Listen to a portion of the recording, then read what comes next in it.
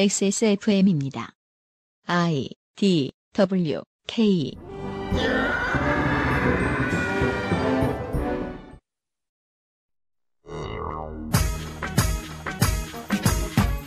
2017년 10월 마지막 주말에 만나는 시사 아카데미에서는 오바마가 격찬했던 TV 시리즈의 걸작 더 와이어와 사회가 벌인 척박한 시스템에 대한 고발 에세이 힐빌리의 노래를 통해 미국의 쇠락한 러스트벨트가 전 세계에 던지고 있는 메시지는 무엇일지 고민해 볼까 합니다.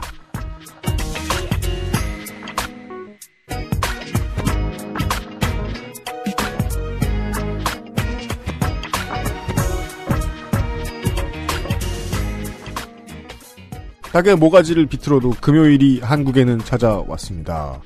XSFM의 청취자 여러분 다운받아 주셔서 감사합니다. XSFM의 유승균 PD입니다. 그것은 알기 싫다 248회 금요일 순서를 시작하도록 하겠습니다. 오늘은 윤세민 기자가 앉아 있고요. 네, 안녕하십니까. 윤세민입니다. 다음 주부터 이제 어, 대박 연속 야근을 어디부터 건드려야 될지 모르겠어요. 앞두고 있기 때문에 긴장이 입대 전날처럼 빵빵하게 부풀어 올라 있는 상태입니다. 저희들 모두가. 네. 폭풍전의 마지막 고요입니다. 얼마 전에, 그니까 지난번 이후로 이 덕질인의 인기에 대해서 많은 분들이 의문도 품고 팬이라고 자청도 해주시고 그랬잖아요. 또 말해봐요. 아까 제가 근데 덕질인한테 종종 하는 말이 여러분 오늘 덕질인 안 나옵니다. 나는 형의 어떤 부분을 굉장히 존경해요라고 종종 얘기하는데 절대 안 믿어요. 좋아서 그러는 거야. 좋아서. 그런가?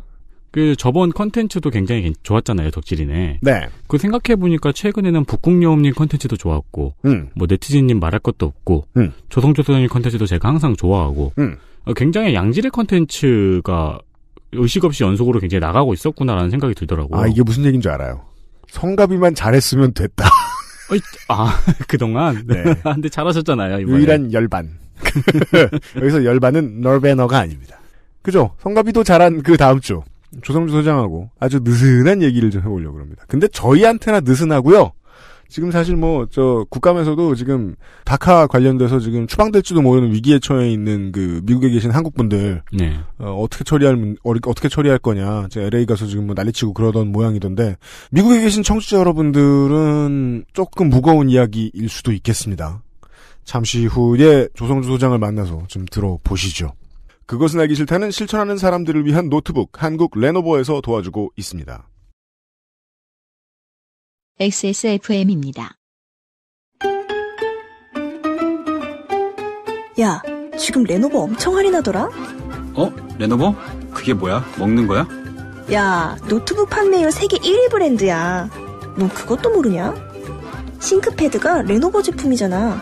아, 세계 1위? 야, 잘 됐다. 나 노트북 사야 되는데. 근데 어디서 사야 돼? 레노버 최대 40만 원 할인 혜택을 XS몰에서 확인하세요.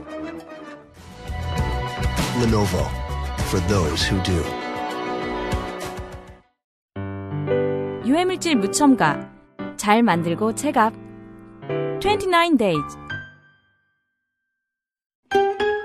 전 세계에서 가장 많이 팔리는 노트북 브랜드?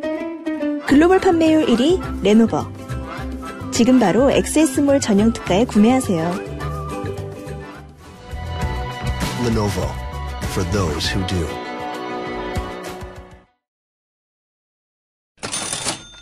어, 인텔의 이 CPU 몰아내기 횡포가 아주 심각합니다. 극심합니다.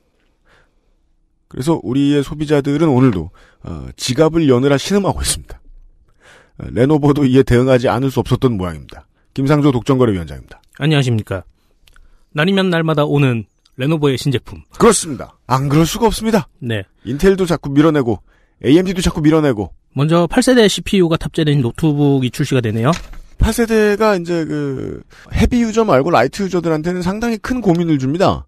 그냥 그 모델 이름만 알면 옛날엔 됐는데 Kaby Lake 주세요, Skylake 주세요. 뭐 이렇게 하면 됐는데 지금은 라인업이 되게 다양해져가지고요. 네. 아무튼 다 준비가 돼 있습니다. 네. 최대 17% 할인이 돼가지고요. 음. 30만 원 정도 할인을 받을 수 있다고 합니다. 17%요? 네. 네.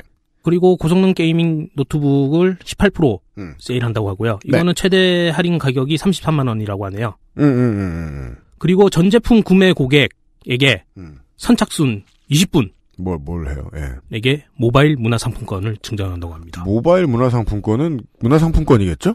그렇죠. 모바일로 쓸 수 있는 모, 문화상품권이겠죠. 예, 저걸로 저 뭐냐 바코드나 저 QR 코드로 돼 있는? 네네네. 네. 5만 원 상당이라고 하네요. 어 세게 세게 푸네요. 네, 선착순 20명. 선착순 20분. 네. 알겠습니다. 그 물론 저 기다리는 저 CPU 제품군이 아직 안 나왔으면 더 기다리시는 게 Y 시리즈 예, 좀 기다리시는 게 맞을 텐데 계획하셨으면 한번 가보시고요. 아마 그 저희 쿠폰 먹여가지고 살 수 있는 물건들 중에 이제 그 옵션을 바꿀 수 있는 모델들이 한정이 있는 걸로 알고 있는데 그래도 그것도 고민을 해봐주셨으면 좋겠습니다. 더 싼 데가 있으면은 용산에 나가서 다른 데 사시는데 옵션을 변경할 수 있는 정품은 한국 레노버 사이트에서 구하시는 게 맞습니다. 김상조 독점가를 위원장이었습니다. 감사합니다.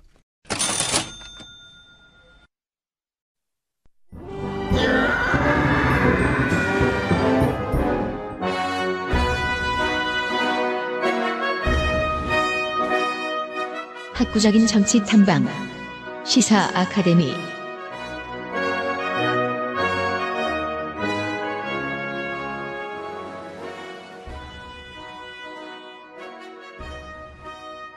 시사 아카데미 시간입니다.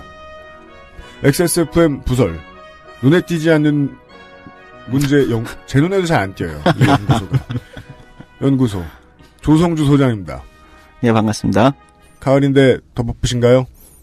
네, 늘 바쁜 것 같아요. 이제 노동조합 입장에선 말이죠. 네, 그 춘투하고 네. 하투하고 음. 그럼 놀 것 같은데 음. 아니에요. 보면 준비가 내더 바빠요. 그런가 봐요. 네. 예 무슨 저 축제 준비 위원회 같기도 하고 음, 적절하네요. 네. 그 가을이라서 문화 콘텐츠를 좀 소개해 드려 볼까 하는데 예, 그러자면 먼저 이제 이야기를 하고 지나가야 되는 한두 가지가 있습니다. 가장 중요한 오늘의 개념은 Rust Belt입니다. 오대호 주변에 살고 있는 사람들은 죽음, 미세먼지 이런 답답한 이름이지만 한국 사람들한테는 그냥 시사 용어지요. 지금도 제가 아마존에서 직구를 하다 보면은 아 진짜 미국은 제조업 국가가 맞나 보다 싶은 생각이 들 때가 정말 많습니다. 음, 제조업이 정말 탄탄하다는 느낌이 많이 들어요 소비자로서.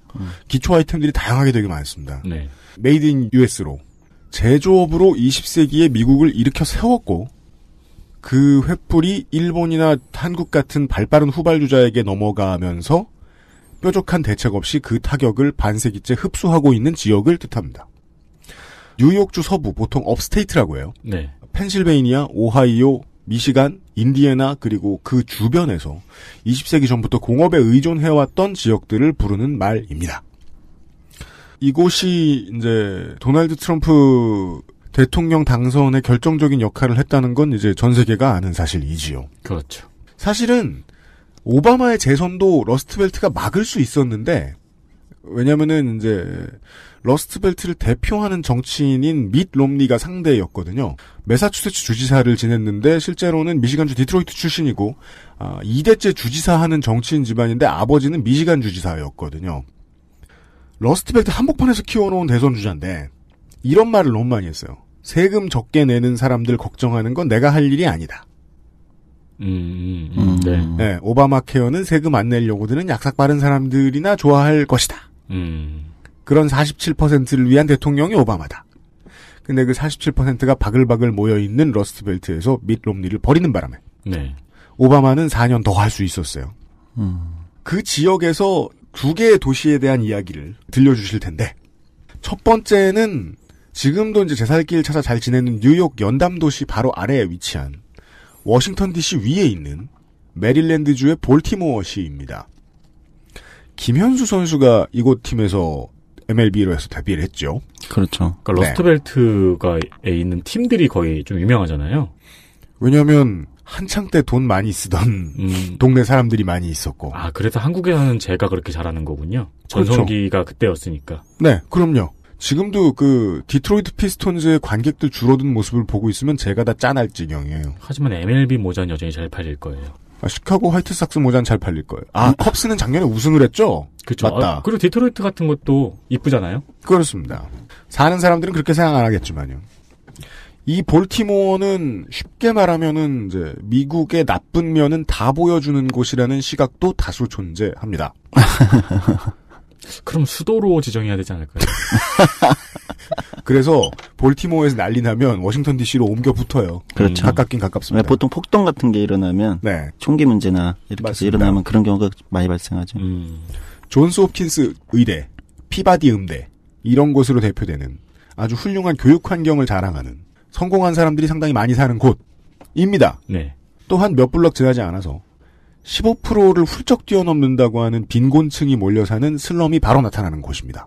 못 사는 나라들처럼 치안이 좋은 곳은 아름답고 부유하고 평화롭고 네. 아닌 곳은 살인율이 전국에서 몇 손가락 안에 드는 네. 지역입니다. 그 열심히 살아오신 한국어 쓰는 동포 분들이 많이 살고 있는 동네들이 있습니다. 하워드 카운티나 엘리컷 시티 같은 동네들이 있는데 거기는 경인권 수준의 집값을 가지고 있고 편의 시설이나 치안도 경인권 수준입니다. 학군도 되게 좋다 그래요. 거기에서 얼마 지나지 않으면 street view를 봤는데요. 정말 얼마 지나지 않아요. 네. 얼마 지나지 않으면 시에서 환경미화도 포기한 것 같은 동네가 나타납니다. 최근에는 볼티모어를 대상으로 해서 바로 옆에 붙어 있는 고소득 지역하고 저소득 지역 간의 모기의 서식률 차이가 엄청나다는 연구도 나왔습니다. 음. 2015년 봄에 조성주 소장이 방금 말씀해주신 프레디 그레이라는 청년이 결- 경찰 체포 과정에서 숨지는 사건을 불씨로 어마어마한 소요 사태가 일어나고 이것이 바로 옆에 워싱턴 DC 그리고 필라델피아, 뉴욕 등지로 옮겨 붙습니다. 동부 전역을 휩습니다. 음. 인종차별이랑 과잉진압이랑 지역경제 파탄 같은 거는 원래 늘 있던 문제이기 때문에 이 도시에 언제 터져도 터질 일이었다. 네. 보통 이런 평론들을 하죠. 메릴랜드주 교도소에 복역하고 있는 사람의 수가 말이죠. 메릴랜드주의 인구가 600만인데 그 중에 10%인 60만 정도가 볼티모어에 살고 있거든요. 볼티모어시 주민만 복역자가 30%가 넘는다는 통계를 봤습니다. 그 인구 대비 수형 인원이 너무 많은 도시라는 건 특이하죠. 네. 예. 그럼 거의 구 하나 정도 아닌가요? 우리나라가? 근데 그렇다고 해도 제대로 다 잡아들인 건 아닌지 살인 사건 발생률은 무지하게 높은 동네입니다. 음. 이 동네에 대한 어떤 이야기를 들려주실 것 같습니다. 네, 맞습니다. 음. 오늘 일부, 일부 청취자분들의 거센 요구, 뭔데요? 아, 그렇죠. 네. 미드 방송을 한 번 더 해달라. 어려운 얘기 그만해라. 사실 시사에 관심이 있는 것 같지만 난 그렇지 않다. 네. 이런 요구가 좀 있었었는데요. 네. 사실 제가 올해 들어와서는 미드를 그렇게 생각보다 많이 못 봤어요. 바쁘셨어요? 그래서, 네, 그래가지고 최신 미드의 경향을 좀 못 쫓아가고 있고 네. 심각하게 지금 뒤처지고 있습니다. 아. 그래서 어, 예전에 봤던 것 중에 한번 우리가 이야기 나눠볼 만한 네. 어, 주제로 사실은 어, 생각은 한번 하고 있었어요. 이 드라마는 한번 다뤄야겠다라고 음. 생각했습니다. 음, 네. 앞에 이제 UMC께서 이제 쭉 그 배경 설명을 굉장히 잘해 주셨는데 그러니까 미국의 메릴랜드 주에 있는 60만 규모의 사실 이게 60만이면 우리는 별로 큰 도시가 아니라고 생각해요. 한국 사람들은. 한국에서 60만 오가는 도시, 음. 청주, 음. 지금 청원이랑 합해서 좀 인구가 늘어났고, 그 정도 규모입니다. 예.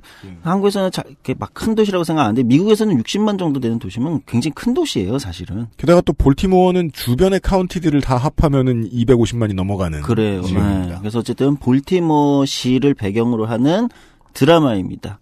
드라마 음. 이름은 더 와이어. 네. 예, 더 와이어입니다. 그 댓글에도 어떤 분들이 더 와이어도 한번 다뤄달라는 말씀이 있었고 지난번에 제가 사실은 방송할 때 한번 이 잠깐 다루긴 했었죠. 네. 그러니까 이제 웨스트윙이라는 명작 정치 드라마가 있는데 음. 이제 그 드라마가 묘하게 이제 오바마 전 대통령의 출현을 예언처럼 또는 모델로 했, 실제 모델로 하기도 했고 해서 네. 이제 오바마에게 웨스트윙을 봤느냐 좋아하냐 이렇게 질문했을 때 오바마가 정작 자신이 제일 좋아하는 드라마는 더 와이어다. 네. 이렇게 답변은 굉장히 정치적으로 세련된 답변이었다고 제가 한번 방송에서 말씀드린 적이 네. 있는데 왜냐하면 정치적으로 함정 같은 질문이었으니까요. 그렇죠. 네가 대통령 되는 이야기 좋아? 뭐 이런 거. 아니 그래서 이제 더와이어를 한 번쯤은 다뤄야겠다 생각은 하고 있었습니다. 이 볼티 메릴랜드주에는 볼티모어시를 배경으로 하는 드라마입니다. 2002년부터 2008년까지 HBO. 아, 네. 역시 명작은 명작은 HBO. HBO. 네. 요즘은 좀 뭐 AMC나 이런 데서도 굉장히 좋은 작품들이 넷플릭스. 이후에. 예. 예. 아, 넷플릭스. 아마존. 그 얼마 전에 그 뭐지 뉴욕타임즈 만평이었나 하나 보니까 그 할리우드 그 산에 있는 그 글씨 있잖아요. 네. 그거 누가 띄어내고 거기 넷플릭스라고 바꿔다는 거의 그렇게 되고 있죠. 음. 근데 이제 2000년대만 해도 왕좌는 HBO. 그렇죠. 음. 네. 음. 다른 미드도 또 이제 비운의 명작이 있어요. 스튜디오 60 선셋 스트립이라는 저번에 말씀하셨죠. 예, 말씀은 그 네. 비운의 명작에 보면 그런 저랑 중간에 조성주 소장만 좋아하는. 예. 네. 근데 중간에 그런 대화도 나, 나와요. 그러니까 어떤 정말 실력 좋은 젊은 천재라고 실력 좋은 젊은 천재 각본가가 나온 거예요. 음. 그러니까 이제 이 사람이 이제 자기 믿는 선배가 이제 이 드라마의 주인공인데 음. 이 사람한테 자기네 공중파 ABC로 오라고 하지 말고 HBO로 가라. 네. 너처럼 작품성 있는 거 쓰는 건 이건 공중파에서 안 다뤄준다. HBO 같은 데 가야만 음. 너는 제대로 된 작품을 쓸 수 있어. 만들 맞아요. 수 있어. 네가 쓰는 각본을 음. 진짜 작품으로 만들 수 어. 있어. 이런 이제 대사가 나와요. 네. 중간에. 지금 드라마 잘 만드는 케이블 방송사 생각나네요. 예, 그래서 그때 이제 주인공이 있는 그 바- ABC 방송사 사장이 어떻게 그럴 수 있냐 이러면서 이제 음. 엄청 주인공을 이제 구박하는 장면이 나오는데 네. 어, 말씀대로 이제 2000년대까지는 사실 HBO가 음. 어, 말 그대로 왕좌였죠. 어, 지금 왕좌 게임을 하고 있긴 하지만 예. HBO 그리고 그 HBO 드라마의 콜렉터들 사이에서도 그 중에 제일 호평받는 작품입니다. 바로 더와이어입니다. 네. 어느 정도냐면 이제 미국의 어, 미드가 워낙 많은데 그중에 이제 all-time number one이 뭐냐 미국 드라마의 all-time number one이 뭐냐 하면 이제 보통 1, 2, 3위를 이제 더와이어, 소프라노스, 웨스트윙 뭐 가끔 엑스파일이 끼기도 하고 이들이 이제 보통 다, 다툽니다. 네. 음. 어 그리고 거의 1위를 이제 소프라노스 아니면 더와이어가 더와이어. 1위를 보통 하죠. 네. 예. 그 정도로 이제 명작 반열에 그러니까 이제 뭐 21세기에 명작이 워낙 많이 나왔고요. 예, 네. 그렇기도 합니다. 하여튼 명작 반열에 들어가 있는 작품이고요. 음. 한번 보시면 이게 시즌 5까지 있는데 음, 조금 안타까운 건 국내에서는 이게 이제 두 가지 문제가 있어요. 하나는? 음. 정발이 안 됐어요. 아, DVD가 국내에는요? 네, 네. DVD가 시즌 1까지밖에 안 나왔어요. 음. 그 음. 워너 그 사가 이제 철수하면서 DVD도 시즌 1까지밖에 정발이 안 되고 네. 이게 이제 자막을 만드시는 분들이 실력이 어마어마하시잖아요. 네. 그럼요. 그런데 이 드라마는 의외로 괜찮은 자막이 없어요. 아 진짜요? 네. 아, 아, 청취자 여러분, 더 와이어 자막 추천 바랍니다. 예. 한번 더 실력 좋으신 분들 한번 찾아주시면 좋겠는데. 세터데이 같은 자막을 봐야 되는 거군요. 아, 예. 괜찮은 자막이 제가 열심히 찾아놨는데도 별로 없어요. 한 시즌 2까지는 자막이 좀 괜찮은 게 있는데, 음. 뭐 이분이 군대를 가셨는지 어떻게 됐는지 모르겠지만 어. 시즌 3부터는 자막의 질이 현저히 떨어집니다. 앞에 볼티모어 이렇게 나왔는데 로스앤젤레스 번역한. 심지어 네. 문제는 이제 뒤에 다루겠지만 이게 고증이 굉장히 잘 된 드라마로 유명해요. 맞아요. 네. 그러니까 여기서 쓰는 이, 이 실제 언어들이 음. 그 지역 볼티모어의 이제 지역 뭐 지역 언어, 네. 뭐 유행어, 음. 뭐 이런 것 고증을 거의 완벽하게 했다는 평가를 받는 굉장히 높게 평가를 받거든요. 음. 그러니까 아마 자막을 만들기도 이제 그만큼 어렵죠. 음. 어, 이, 그 드라마 내내 욕이고 뭐 네. 온갖 슬랭들에 난무하기 때문에 그 슬랭 쓰는 것도 이 민족과 구- 지역에 따라 방언이 다른데. 그렇죠. 네. 네. 그 고증에서 되게 높은 평가를 받죠. 네, 그거를 다시 이제 자막으로 만약에 만든다고 치면 볼티모어에 계시는 분, 계속 살았던 분이 만드셔야겠네요. 네. 음. 그러니까 참 어려운 지점이 있죠. 그게 좀 어렵, 뭐 안타깝긴 하지만 어렵게 어렵게 이 드라마를 보시면 상당히 많이 놀라실 겁니다. 뭐냐면 이게 2002년부터 2008년인데 그 이후에 소위 2010년대 이후에 나온 수많은 범죄 드라마들. 미국 음. 드라마의 한 절반은 범죄 드라마잖아요. 네. 네. 그것들이 다 어디서 아이디어를 차용했는가를 다 아실 수 있습니다. 음. 이 드라마를 보시면.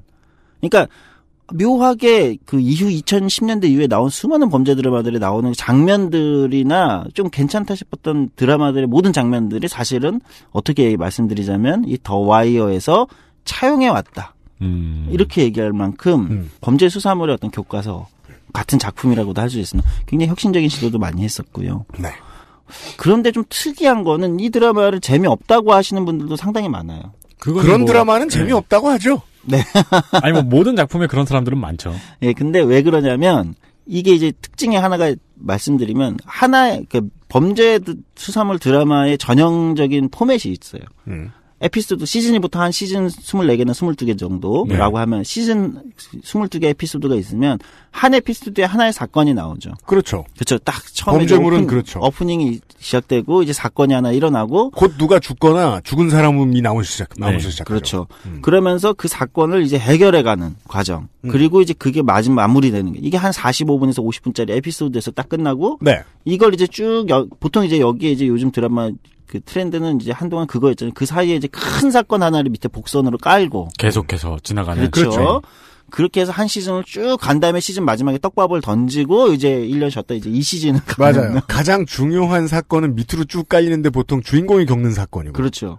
그 네. 시즌 마지막에 이제 떡밥을 하나 크게 대형 떡밥을 하나 큰탁 분기를 터뜨리고. 하나 겪고 주인공이 죽어서 바뀌거나 그렇죠. 네. 아니면 위기에 딱 처하거나 그게 요즘 서사물에서 많이 쓰이고 있는 방식이잖아요. 아, 주 전형적인 방식이에요. 예, 우리는 이제 이거에 너무 익숙해져 있어요. 근데 이 더와이어를 지금 보시면 이 방식이 아니에요. 한 시즌이 하나의 사건을 갑니다. 아, 한 에피소드가 하나의 사건이 아니고요. 그렇죠. 음. 그러니까 이게 다소 굉장히 무겁고 음. 굉장히 디테일하게 다루는 장점이 있지만 음. 다소 지루할 수 있어요. 이게 해결이 안 되는 거예요, 한 사건이. 보통 한국에 앉아 있는 시청자들이 미드한테서 바라는 패턴은 아니에요. 네. 그러니까 네. 이게 조금 어 뭐랄까요 어렵다라고 할까요? 근데 원래 이게 미드 안 보고 저처럼 미드 안 보고 옆에서 엄마가 드라마 보는 거 같이 보는 사람 입장에서는 드라마는 재밌어요. 원래 그런 거잖아요. 네, 재밌어요. 네. 음. 어 그러니까 이런 측면에서는 미드 전형적인 미드 범죄 수사물 스타일이 익숙하신 분들한테는 조금 지루하게 느껴질 수 있지만 그만큼 다른 재미들이 굉장히 강력합니다. 음. 그리고 또 하나 두 번째 말씀드린 건 이 드라마의 특징은 약간 드라마성보다는 음. 다큐나 르포성이 좀 강해요. 드라마라고 하면 이제 모든 주인공들이 어떤 일련의 사건에 100% 굉장히 중요한 역할로 다 연결이 돼 있어야 되는데 네.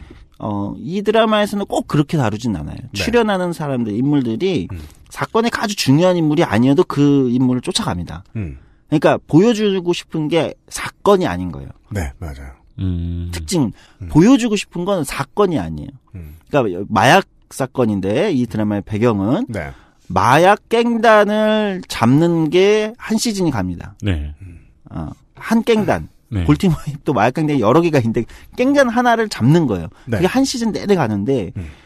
그 갱단의 꼭 주요 인물이 아니어도 이제 중간 에피소드 그 인물을 다뤄요. 음. 보여주고 싶은 건그 갱단을 잡는 과정을 보여준다던가 어 예를 들면 뭐 형사들의 대화력을 보여준다던가 하는 게 아니라 어느 이제 블로그에 있는 말처럼 볼티모어시 그 자체를 보여주고 싶은 겁니다. 음. 네. 그래서 혹자는 이것은 이제 sandbox 게임 같은 드라마다라는 평가를 하기도 했어요.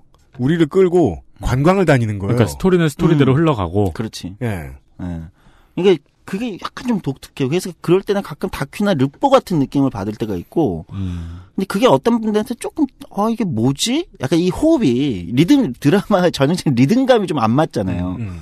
그런데 굉장히 특이한 건그 순간 마지막에 어느 순간에 오는 묵직한 약간 어 먹먹함 같은 게 좀 있어요. 음. 그러니까 그 주인공이 갑자기 탁 죽어나갈 때, 그러니까 이게 르뽀처럼 다르다가 다큐처럼 음.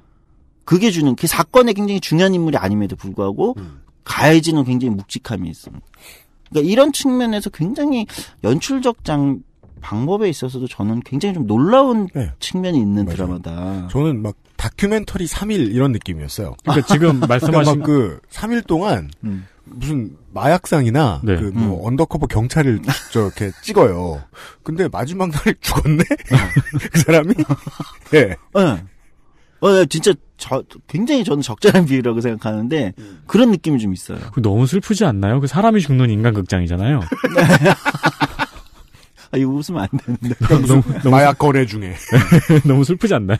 근데 그 거래하는 막 그 사람이 이제 10대 흑인 청소년이고 막 이- 이래요. 어, 어, 근데 이제 이게 굉장히 좀 독특한 이건 좀 사전에 좀 말씀을 드리고 싶고 그래서 이제 다시 더와이어로 돌아가겠습니다. 요런 이제 독특함이 있습니다. 시즌 다섯 시즌까지 다루고 이제 기본적으로는 볼티모어가 마약과 범죄와 살인과 강도와 모든 범죄가 일어나는 네. 미국의 최근 조사로는 미국의 범죄율 4위를 했다고 그래요. 1위는 5위인가? 어딘가요? 뭐 디트로이트, 세인트루이스 뭐 이런데 그러니까 음. 막상 막하예요. 근데 뭐 몇 년 전에는 볼티모어가 1위였고 이게 엎치락 뒤치락 하는 음. 그러니까 미국의 최악의 범죄 도시 중 하나다. 근데 이렇게 얘기하면 또 볼티모어 시민들이 싫어하겠지만, 그 음. 예, 대체적인 평가는 이제 흐름은 그렇게 짚더군요. 서부의 대도시들이 생겨났는데 그 대도시들을 위한 그 미국은 공업의 도- 공업의 나라니까 제조업의 나라니까 적당한 산업이 발전하지 못했다 음, 오랫동안. 네. 그래서 20세기 후반과 20세기 말에는 서부에 주로 범죄율이 높은 도시들이 모여 있다가 음. 그게 이제 러스트벨트로 확 옮겨왔다는 거죠. 음. 그렇죠. 그 중에 볼티모어도 있고. 쇠락하는 거죠. 도시가 쇠락하면서 누구도 도시를 정치적으로 중요하게 다루지 않은 거죠. 망할래 망해라. 그렇죠. 왜 그런 얘기 많잖아요. 디트로이트가 자동차 이게 막 이렇게 해서 했을 때 차라리 디트로이트 시를 파산시켜라. 그렇죠. 그러니까 그게 낫다. 이런 극단적인 주장까지 나올 그러니까 정도로. 디트로이트가 죽게 두어라. 어. 근데 실제로 미국은 많이 그러고 있고요. 네. 예, 공공 서비스도 많이 안 하고 수도도 안 나오는 동네도 많고 아직까지. 음.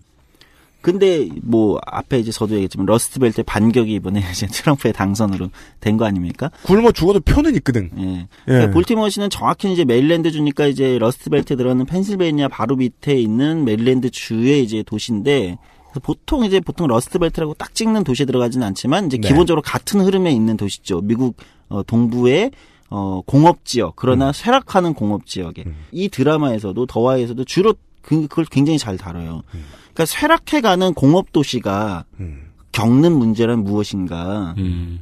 슬럼이 형성되고 슬럼에서 마약과 깽단이 판치지만 그것을 공권력이나 정부나 정치가 이것을 통제할 만한 수단은 점점 없어지고 예산은 부족하고 네. 한국도 그 전에 잘 돌아가다가 어떤 공업이 이제 말로에 접어들면서 살기가 좀 힘들게 돼서 사람들이 떠나기도 하고 힘들어진 동네들이 있지만 어 한국에는 총하고 마약은 없으니까요. 네. 그죠. 제가 정말 이 시즌 다섯 개 중에 좋아하는 게 이제 시즌 2인데 같은 경우는 볼티모어에 있는 이제 항구, 항구의 항만 노동자들이 이제 같이 쇠락하는 거죠.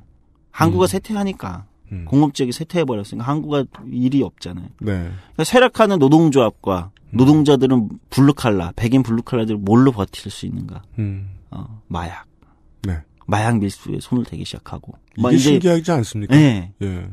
그러니까 뭘로 버틸 것인가를 생각하면 다른 공업이 있나? 음. 다른 제조업이 있나? 교육을 새로 받나? 이런 순수한 생각을 하게 되는데 가장 가까운 건 마약이에요. 그러게요. 어. 마약을 밀수하는데 이제 손을 대기 시작하고 그러나 그것은 그 돈으로 예를 들면 정치인의 로비를 해서 여기에 하- 새로운 항구, 새로운 항구를 만들도록 계속 이제 압박을 하는 거예요. 노동조합이. 음. 그러니까 마약 밀수 중간 거래를 통해서 번 돈을 가지고 정치 로비를 합니다. 노동조합이. 음. 정치 후원금을 대면서 공업 이 항구를 다시 살려라. 음. 그래야만 이 여기 있는 노동자들의 삶이 노동조합 조합원들이 살 수 있으니까. 그래야만 우리가 마약 밀수를 안 할 수 있으니까. 그렇기도 하죠. 음. 그러니까 그 고뇌 같은 게 나오는데 굉장히 흥미로워요. 그 노동조합 위원장인데 음, 음, 맞아요. 자기는 어떻게든 조합원들을 살려야 된다. 음. 이 어마어마한 책임감. 음. 어. 그 범죄에 손을 대는 겁니다. 음. 예, 이런 것들을 다루는데 어 정말 그 높은 평가를 받았죠. 그 시즌 2가. 네. 네. 굉장히 높은 평가를 받았고. 그러니까 브레이킹 배드처럼 생계형은 아니에요. 네. 네. 그러니까 그- 마약을 다룬 드라마들이 참 생각보다 미국의 마약 문제 정말 심각하다 보니까 음. 얘기가 조금 딴 데로 새지만 괜찮은 작품 많아요. 브레이킹 배드야 뭐 워낙 명작이고 음. 더와이어 그렇고 개인적으로는 미국 미국 드라마가 막장 드라마가 정말 많은데 우리만큼 많잖아요. 네. 미국의 막장하고 막장이라고 제가 얘기하는 이제 위즈 위즈. 어 정말 정말 막장이잖아요. 음. 근데 그런 드라마도 이제 마약을 소재로 굉장히 그 어, 뭐랄까요 한 사회의 그 이면을 굉장히 신랄하게 잘 보여주는데 안 보신 분들을 위해 말씀드리면 이제 그 조성주 소장이 지적하는 막장은 한국의 막장하고는 많이 다릅니다. 그러니까 그 스토리가 엉뚱하게 튀는 게 아니고. 그러니까 한국의 그것은 이제 텔레노벨라에서 볼 수 있는 그렇지. 네. 이 사람이 이 사람의 자식이고 이 사람이 이 사람의 자식인 게 1년 뒤에 밝혀지고 이거 이거 말고 음. 예 오렌지 주스를 분수처럼 흘리는 그거 말고 근데 저것도 보다 보면 이제 아 개막장 이런 생각이 들게 음. 됩니다. 음. 여튼 아, 예 개괄 정도를 소개해드렸습니다. 오늘은 볼티모어를 배경으로 한 더 와이어라는 작품을 소장님이 소개해 주실 거예요. 광고를 듣고 돌아오죠. 그것은 알기 싫다는 한 번만 써본 사람은 없는 빅그린 프리미엄 헤어케어에서 도와주고 있습니다. XSFM입니다.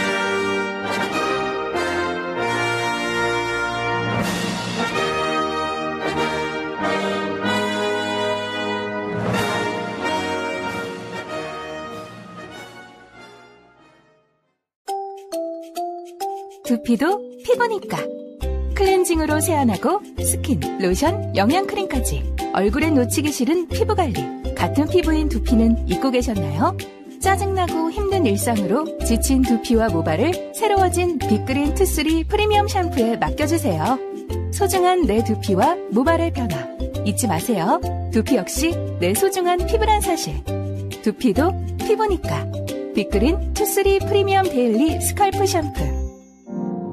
Green 같이 쓰면 더 좋아요. 투쓰리 트리트먼트, 투쓰리 헤어팩.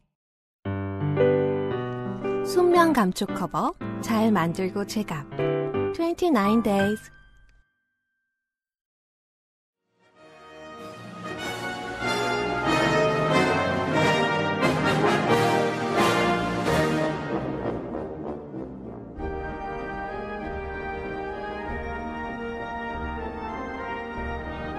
돌아왔습니다. 네. 02년부터 08년까지 HBO에서 방영이 되었던 산술적으로 나오는 이제 매니아들의 평가 지수만 봐도 어, 너무 호평 호평 일색인 작품 더 와이어를 소개해드리고 있어요. 조성주 소장님과 함께하고 있습니다. 네. 어, 이제 본격적으로 좀 내용하고 이제 다른 그 이어진 내용, 얘기들을 좀 더 해보도록 하겠습니다. 네. 제가 이제 더 와이어를 꼭 해야겠다고 또 맘먹은 이유 중 하나는 이제 트럼프의 당선을 보면서예요. 음. 메릴랜드주도 이제 트럼프가 이겼잖아요. 네. 여기 이제 트럼프가 이긴 주예요. 물론 이제 그 거기서부터 이제 쭉 다 휩쓸었죠. 러스트벨트를. 미국 북동부와 그 오대호 근방을 쓸어버렸습니다. 네. 네. 그러면서 저도 이제 이전에 봤던 더와이어가 다시 생각이 나더라고요. 뒤에 얘기했지만 제가 이제 최근에 그래서 이제 그런 현상들에 대한 좀 관심도가 높아서 책도 좀 보고 있는데 그러면서 더와이어를 다시 생각나게 한 드라마입니다. 어 작가가 두 명이 이제, 이제 대표 작가가 어 데이비드 사이먼하고 이제 에드 번즈인데 이 에드 번즈라는 사람이 볼티모어에서 실제 경찰로 일했던 사람입니다. 작가가. 어, 아, 그래서. 그러니까 디테일이 남달라요. 네. 음, 음. 예, 거의 완벽하다고 얘기하고 실제 이 드라마를 대학교 교재로 수업으로 써서 이제 사회학 교재 같은 걸로 쓰기도 어, 할 정도로 음. 완벽한 뭐 적이죠. 그러니까 이제 경찰 수사가 여기서 다루는 드라마에서 나오는 경찰 수사는 우리가 상상하는 경찰 수사는 다릅니다. 음. 정말 경찰 수사예요. 지루하게 탐문하고 도청하고 예를 들면 도청에 영장을 얻기 위해서 판사를 설득해야 되고 음. 그러니까 정말 답답하게 진행되는 수사예요. 그게 되게 그 옛날 턴제 시뮬레이션 게임을 누가 플레이하는 걸 구경하는 기분이었어요. 저는 보면서. 저는 그러니까 그, 그왜 저 삼국지를 하는 걸 옆에서 보고 있잖아요. 네. 그러면 계속 같은 버튼을 누릅니다. 옆나라 가서 금 갖다 줘. 그치. 누구한테 금 갖다 줘. 누구한테 말 갖다 줘. 농사시키고 훈련시키고 맨날 전쟁하는 거 아니에요. 그거 한 1년 해서 성격이 저처럼 느린 사람들은 한 2년에 한 번 전쟁할까 말까? 음. 그거 보고 있는 거 되게 재밌잖아요. 옆에서 보고 있으면. 그 기분이었어요. 실무 구경?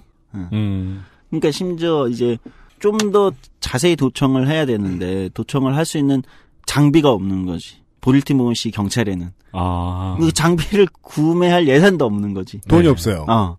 그러면서 이제 개인적 연주를 통해서 FBI에서 그런 걸 빌려온다든지. 네. 뭐, 그러니까 진짜 실제로 그렇게 수사를 한다는데 음. 그런 과정들을 보여주는 거죠. 그러면서 이제 어, 조직의 관료주의 문제에 대한 이제 비판도 상당히 하고 있지만, 그러니까 이 수사 방법이 굉장히 우리가 생각하는 거랑 다릅니다. 일반적인 우리가 보는 범죄 수사물을 생각하시면 안 된다. 화끈하게 되는 경우가 별로 없어요. 맞아요. 맞아요. 네. 뭐 로앤 오더다. 네. 음. 그러면은 1년에 24개의 강력 범죄를 막 해결해요, 매주. 계속 총 들고 뛰어다니고. 아, 그 로앤오더는 그리고 음. 이렇게 단서 막 많이 던져주고 마지막에 전혀 엉뚱한 사람이 항상 범인이잖아요. 그렇지. 딱히 그러지도 않아요.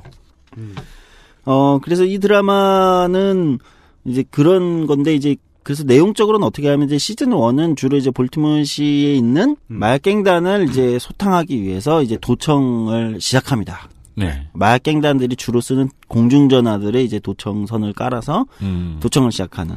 그러면 이제 도청에서 나온 정보를 바탕으로 이제 마약갱단을 잡으러 이제 점점 점점.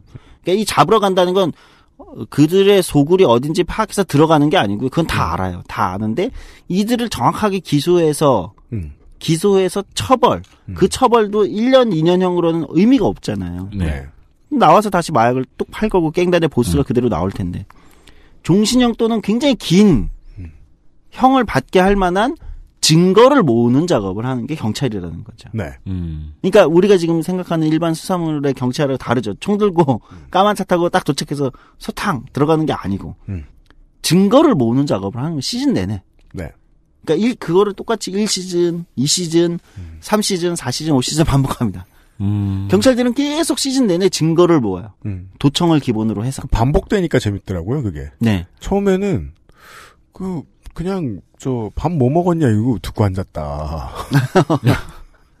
왜냐면 그 무슨 대표적인 이제 두 개의 갱단이 나오는데 그 보스들이 하는 얘기였죠. 어쩌다 들을 수 있단 말이에요. 그러면은 오늘은 사람을 몇이나 죽이겠니? 이런 말을 하지 않잖아요. 그렇죠. 예. 증거라는 게 진짜 안 나온다. 네. 음. 확실하게 기소하고 확실하게 형을 많이 받을 수 있는 증거를 잡는 과정을 이제 보여.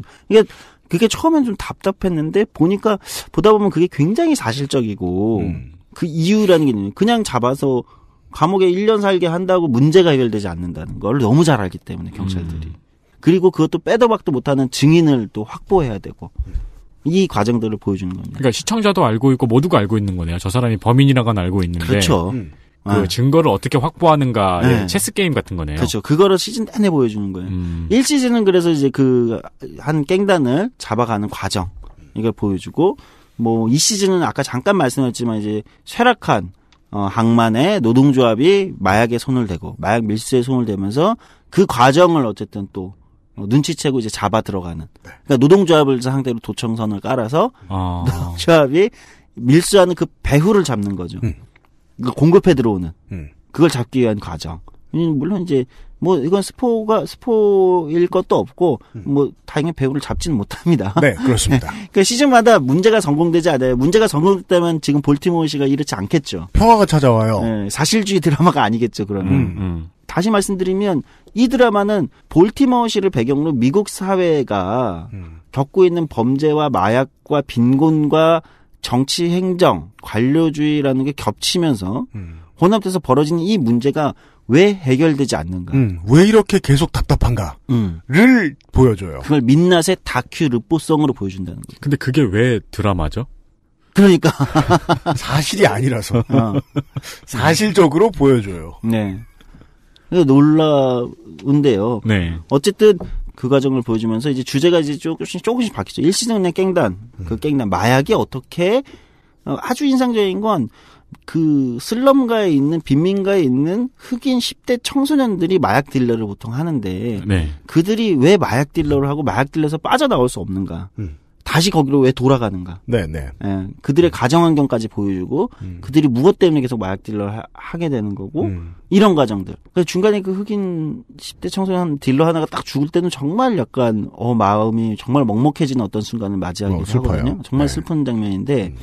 빠져나갈 수 없다는 어떤 절망감. 그러니까 음. 서사 안에 그 도시에 대한 무거운 전형을 무겁게 연출했는데 그 연출하는 방식이 경찰의 실무라는 거죠. 그렇죠. 아, 네. 그렇게 설명할 수 있을 것 예, 같아요. 그렇게 설명할 수 있을 것 같아요. 더 와이어는 등장하는 모든 사람들이 왜 그렇게 사는가에 대한 당위성을 다 설명해줘요.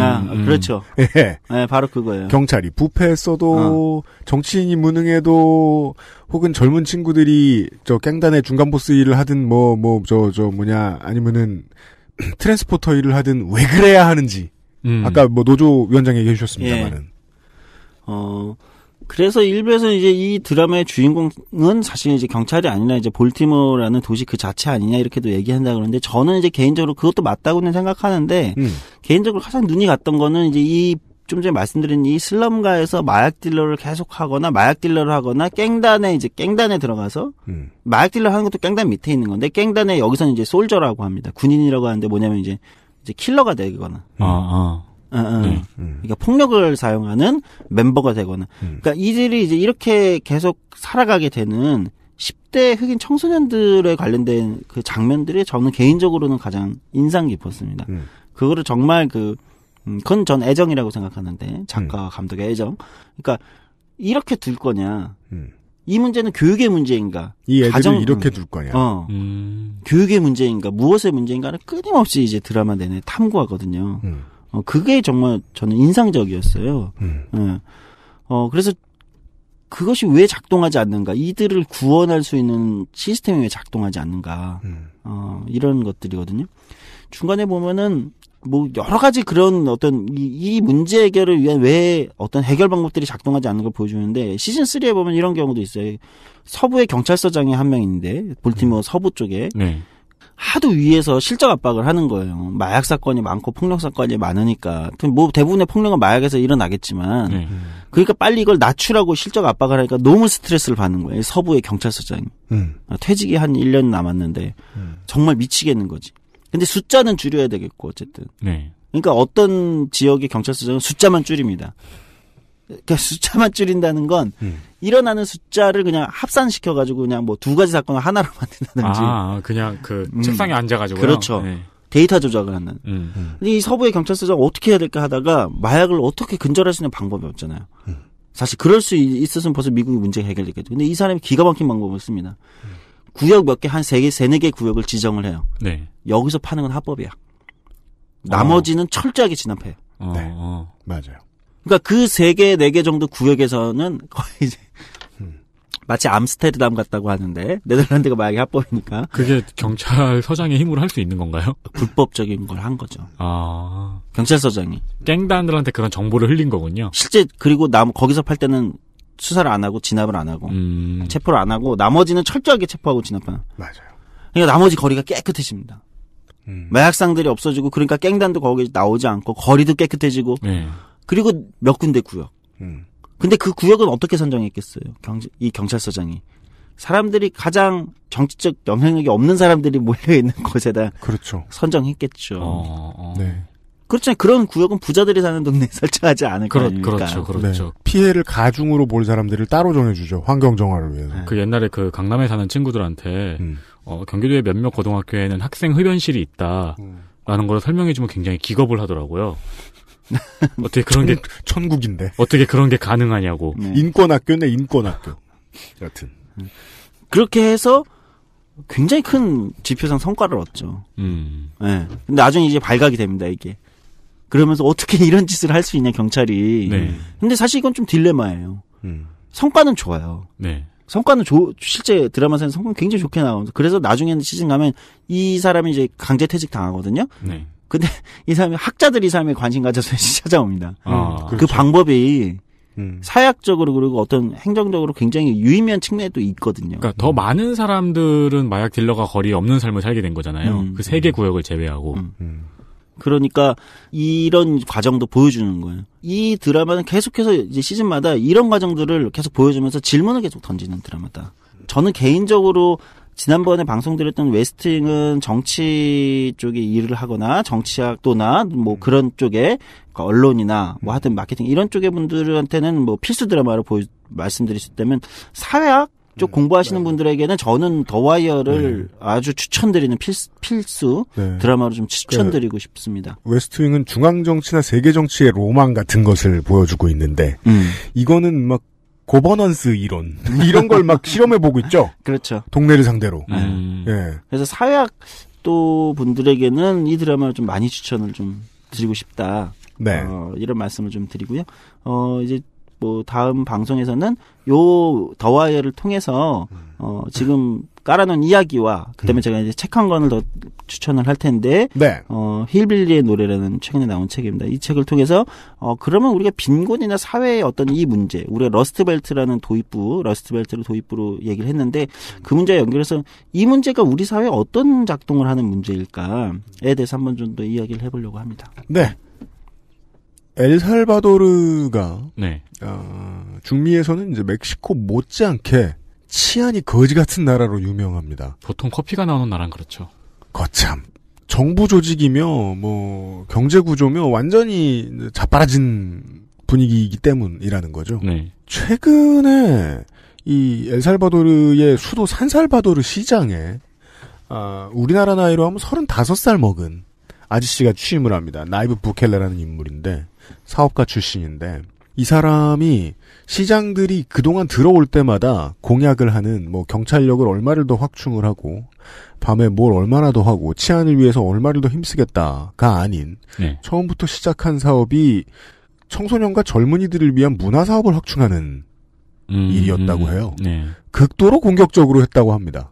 아, 그 사업을요? 네, 슬럼 한복판에도 거대한 엑스게임장을 만들고 어. 어, 실제로 두 자릿수 이상의 그 범죄율 감소를 기록을 했다고 하는데요. 그 뭐 다른 변수들도 있었겠습니다만은 그 엘살바도르처럼 투표로 뽑히는 이제 지자체장들도 깽단에게 암살을 부지기수로 당하는 나라에서는 음. 네. 아주 특별한 모델이었다고 합니다.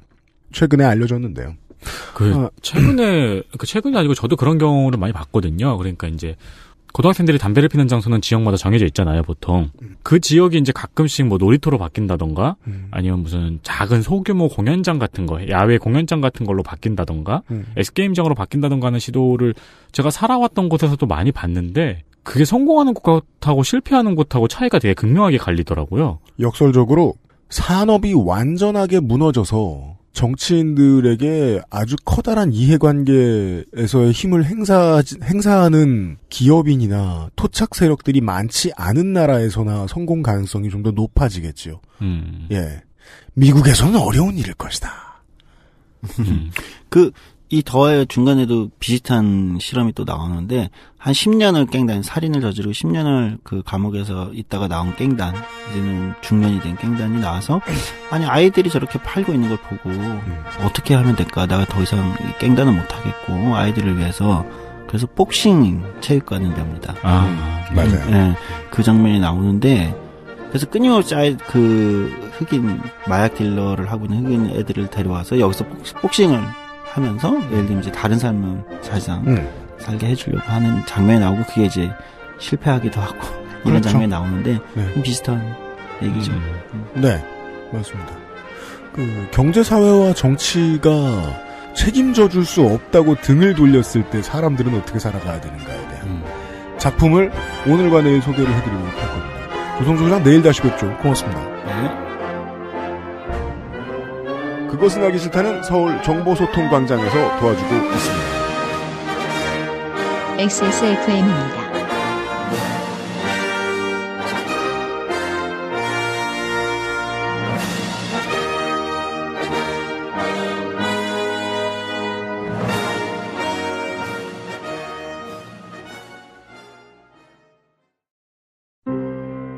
매일 만 개의 권리가 쌓이고 있습니다.